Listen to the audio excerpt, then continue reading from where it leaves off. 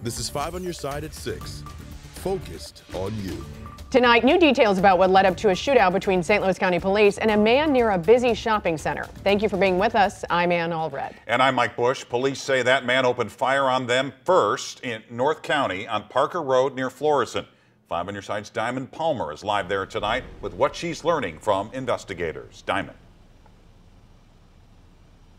Good evening, Mike and Anne. Well, this incident happened all this morning at 11:30 a.m. when a man actually robbed a woman of her car keys. Now, he got into that vehicle and then briefly got out. An officer patrolling this area was actually hearing the calls come in and came to this scene and made contact with the suspect first. Now, the suspect began firing multiple shots at the officer and his cruiser was struck multiple times. The officer who was not hit fired back wounding the suspect.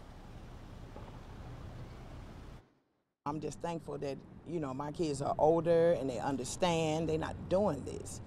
And it just makes me so mad that I see this every day, every day, no matter where I'm going out here in this area.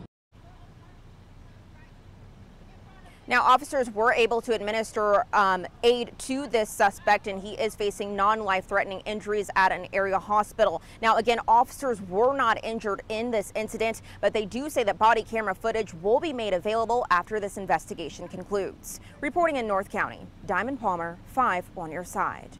If you're driving in Missouri, you need to put the phone down and keep your hands on the wheel. The state's hands-free law went into effect today. It bans you from using your cell phone while driving. That means no texting, reading, recording, sending, or watching those videos. You are allowed to use Bluetooth or voice-activated features. Another ban went into effect in Missouri today, this one on gender-affirming care for minors and adults on Medicaid. A court ruling Friday said the state can implement the ban while the lawsuit continues. Now trans advocacy groups are taking their stories public. Our political editor, Mark Maxwell, is here with new details on their push. Mark.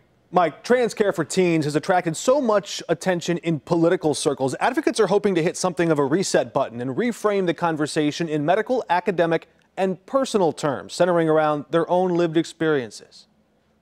As Missouri's ban on gender affirming care for minors goes into effect, I came out as trans. Um, about three years ago. People in the trans community are speaking out. Queer people have always said like visibility is really, really important for us. Avi Ivaturi fields hotline phone calls from queer and trans people in distress. You know, there's all this legal jargon going around. What does this mean for me?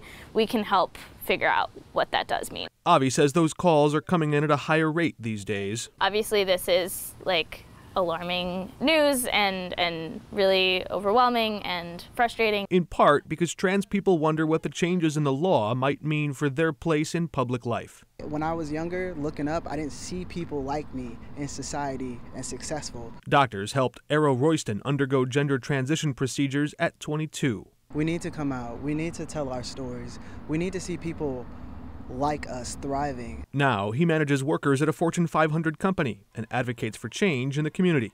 He feels the supercharged political debate around gender affirming care for minors misunderstands key points in the medical process. If you don't transition before puberty, it can have impacts on your your ability to blend in with society. And that's why like it's really important because that takes a huge toll on people's mental health.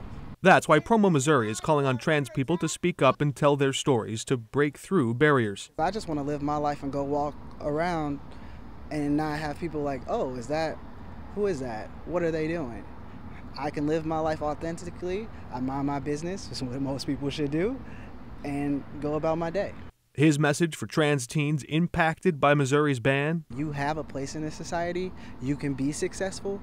You can be here, and we want you here. And just moments ago, Missouri Attorney General Andrew Bailey's office sent us a copy of a cease and desist letter he sent to doctors in St. Louis and Kansas City, telling them they can no longer prescribe puberty blockers or cross-sex hormones to any new minor patients. Minors already undergoing that care can continue, but cannot receive any gender reassignment surgery operations, which is already highly uncommon and rare for minors. Mayor Tishaura Jones says the city of St. Louis, like others across the country, is in a hiring crisis, especially when it comes to 911 dispatchers. She's hoping a new law that took effect today might help get more people to work for the city. Our Christine Byers is here to break it down for us. Christine. And Mayor Jones says the city has 700 open positions right now across all departments, and the 911 dispatch center is among them. That's about 11% of the city's total workforce. Today, a law that says you no longer need to live in the city to work in the city went into effect. Jones is hoping the move will widen the hiring pool. Airport employee Jerry Moore is a new hire at St. Louis Lambert International Airport, a job he was once not eligible for. I live in St. Louis County. I've been there for over 20 years. He was one of several city employees who joined Mayor Tishaura Jones to kick off a new era in the city's hiring practices. The new policy allows people like me, I'm a new hire, um, the flexibility of serving the city uh, with the flexibility of staying where I presently live. In 2020, St. Louis dipped its toe into lifting residency requirements for police officers. There was a three year sunset on the legislation, and unions fought to make it permanent and apply to all city employees. I've long said that I want St. Louis to win again, but it takes more than just a mayor to get it done. Jones says it takes a team. Folks who are willing to trim trees and pick up trash who can stay calm under pressure when someone's in crisis calls 911 or to work behind the scenes to keep our core systems running. Public Utilities Director Kurt Skouby says 30% of positions in his department are vacant, and residency is a hiring hurdle. It's a um, often cited reason to decline a um, offer for um, coming to work for the city of St. Louis, and this should correct that. Mayor Jones says her administration has also instituted a bonus of $1,500 to $3,000 for new hires. And she's giving priority to 911 dispatchers, garbage truck drivers, utility workers, and tree trimmers. I've included a link on how to apply for a city job in my story in the As Seen on TV section of KSDK.com.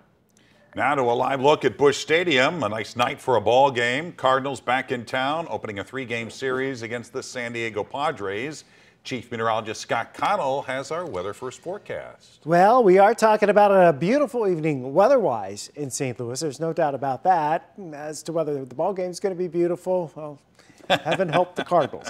All right, we are looking at temperatures in the upper 70s, lower 80s right now. The big difference between this week and last week, the humidity much lower and our temperatures running way lower than they were last week. Only topped out at 83 degrees this afternoon around the metro area. Whether you're coming down to Busch Stadium or perhaps you're going to watch the Cardinals on TV out on the deck or the patio, it's a lovely evening. Right around 80 here now. We'll drop back to 73 by 9 o'clock tonight. It's a beautiful evening all around the St. Louis area, just a couple of scattered clouds. So looking good here as we head through the remainder of this week. Overall, there's little, if any, rain this week. The one chance will come in about the next 30 hours, and then it's much warmer by Labor Day. We'll track that rain or what little bit of it there might be, plus a look at Idalia in just a little bit.